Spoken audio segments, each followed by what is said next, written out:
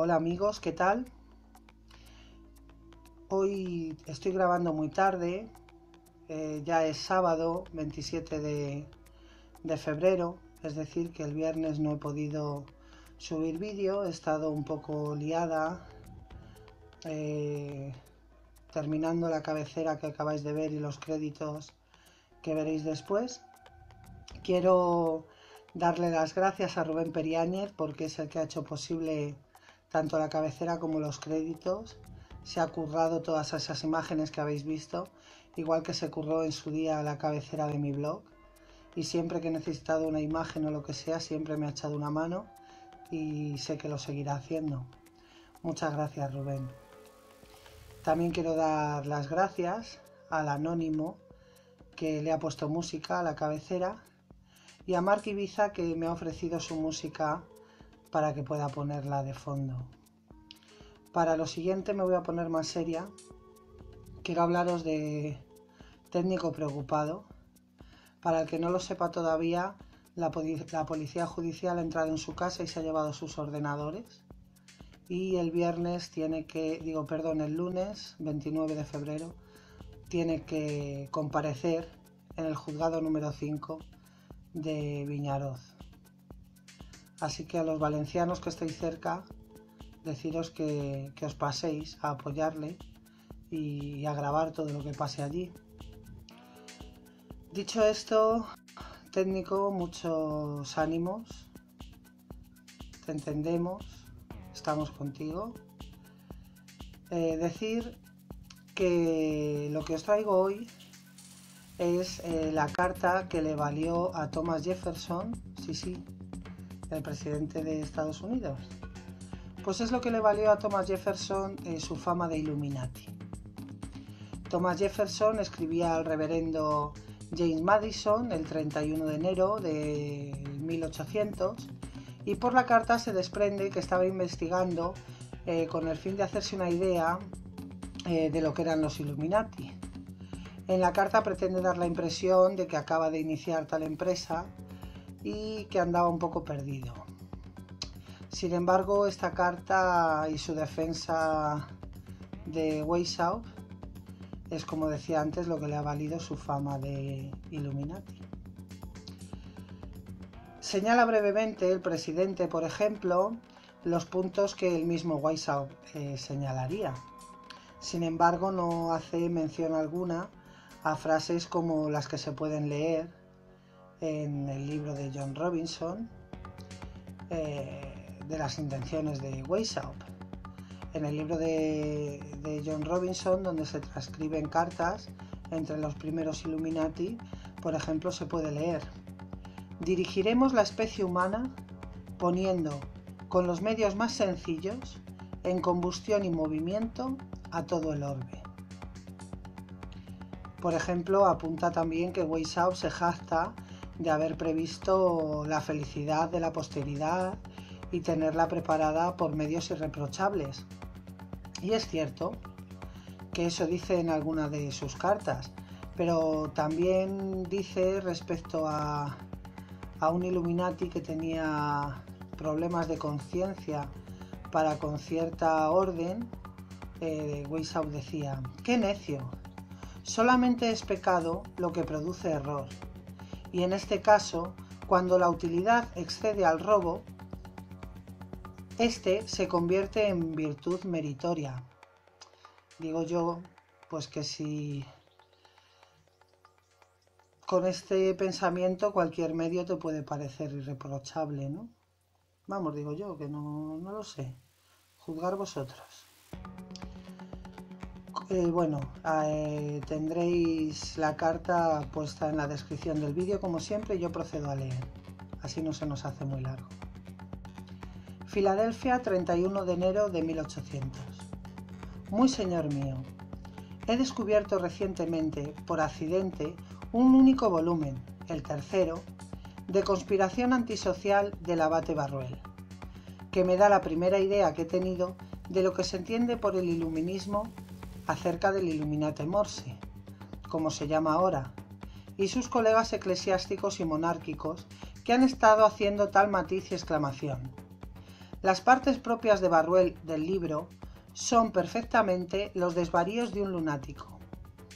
Sin embargo, él cita principalmente a Weishaupt, a quien considera como el fundador de lo que él llama la orden. Como puede que no haya tenido ocasión de formar un juicio de este grito de perro loco que se ha planteado en contra de sus doctrinas, voy a darle la idea que he formado a partir de la lectura en tan solo una hora de las citas de Barruel sobre él, que puede estar seguro de que no son las más favorables. Weishaupt parece ser un filántropo entusiasta. Él es uno de los que, como usted sabe, los excelentes Price y Presley también lo son. Creen en la perfectibilidad indefinida del hombre. Cree que con el tiempo puede ser rendido tan perfecto que él será capaz de gobernarse a sí mismo en todas las circunstancias con el fin de no perjudicar a nadie, hacer todo el bien que pueda, dejar al gobierno sin ninguna ocasión de ejercer sus poderes por encima de él y, por supuesto, hacer el gobierno político inútil. Ya sabes esto es la doctrina de Godwin, y esto es lo que Robinson, Barruel y Morse habían llamado una conspiración en contra de todo gobierno. Weishaupt cree que promover esa perfección del carácter humano era el objetivo de Jesucristo, que su intención era simplemente restablecer la religión natural y mediante la difusión de la luz de su moral enseñarnos a gobernarnos nosotros mismos. Sus preceptos son el amor de Dios y el amor, al prójimo, y mediante la enseñanza de la inocencia de la conducta, espera colocar al hombre en su estado natural de libertad e igualdad. Él dice, Nadie ha sentado una base más segura para la libertad que nuestro gran Maestro Jesús de Nazaret. Él cree que los masones estaban poseídos originalmente de los verdaderos principios y objetivos de la cristiandad, y todavía han conservado algunos de ellos por la tradición, pero muchos han sido desfigurados. Los medios que propone para llevar a cabo esta mejora de la naturaleza humana son iluminar a los hombres para corregir su moral e inspirarlos con benevolencia. Seguros de nuestro éxito, dice él, nos abstenemos de conmociones violentas. Haber previsto la felicidad de la posteridad y tenerla preparada por medios irreprochables es suficiente para nuestra felicidad la tranquilidad de nuestra conciencia no está preocupada por el reproche de apuntar a la ruina o el derrocamiento de los estados o tronos.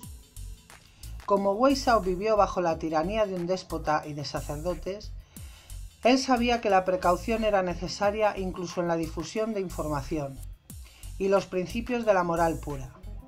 Propone, por tanto, llevar a los, masones libres a adoptar este objetivo y hacer de los objetivos de su institución la difusión de la ciencia y la virtud. Él propuso iniciar a nuevos miembros en su cuerpo por graduaciones proporcionadas a sus temores de los rayos de la tiranía. Esto le ha dado un aire de misterio a su punto de vista que era el fundamento de su destierro, la subversión de la orden masónica y el color de los desvaríos de cargo de Robinson, Barruel y Morse, cuyos temores reales eran que la embarcación estaría en peligro de extinción por la difusión de la información, la razón y la moral natural entre los hombres. Este tema es nuevo para mí. He imaginado que si así es, también puede recibir la misma satisfacción en ver que he tenido que formar el análisis de la misma. Y creo que va a pensar, como yo, que si Weishaupt hubiera escrito aquí, donde no es necesario el secreto en nuestros esfuerzos para representar a los hombres sabios y virtuosos, no se le hubiera ocurrido cualquier maquinaria secreta para ese propósito. Como si Godwin hubiera escrito en Alemania, podría probablemente también haber pensado en el secretismo y el misticismo prudente. No tengo que decirle nada a usted sobre la última revolución de Francia, que es dolorosamente interesante. Tal vez, cuando sepamos más de las circunstancias que le dieron origen y la, dirección que tomará Bonaparte, su órgano principal, podremos ver bajo una luz mejor que hasta ahora. Le tengo en gran estima, querido señor. Su afectuoso amigo, Thomas Jefferson. Mm, yo eh, deciros que además de la carta, la traducción y su transcripción, os voy a dejar también eh, los números del Censor General de Cádiz, donde se tradujo al español el capítulo número 2 del libro de John Robinson, eh, Pruebas de una conspiración. Y os voy a dejar también el libro, aunque está en inglés, para que os lo leáis. Si alguno de vosotros se lo lee, podrá ver que todo lo que dice este hombre es una sarta de mentiras y que se ha dedicado únicamente a extraer de las cartas de Weishaupt lo que a él le ha interesado y lo que a Weishaupt le interesaría. No obstante, creer lo que queráis, pero primero leer, leer mucho, porque si pretendemos conocer a Weishaupt solo por esta carta, lo llevamos claro. Chicos, un saludo. Recordar que hoy 27 de febrero de 2016, a las 22 horas de España, 18 de Argentina, 15 de México, eh, etcétera, etcétera, que es que no sé más, eh, estaremos en el canal de Paz Mundial con una conferencia en abierto, en directo desde YouTube, y en la que podréis participar. Si hay sitio, podéis entrar al Hangout abierto o podéis también hacerlo por el chat. Y bueno, pues estaremos ahí hablando de eh, documentos de la CIA que hablan sobre hipnosis, sobre los experimentos que la CIA hizo en la década de los 50 con la hipnosis. Dicho esto, os dejo, espero que os haya gustado, si no lo siento, y nos vemos.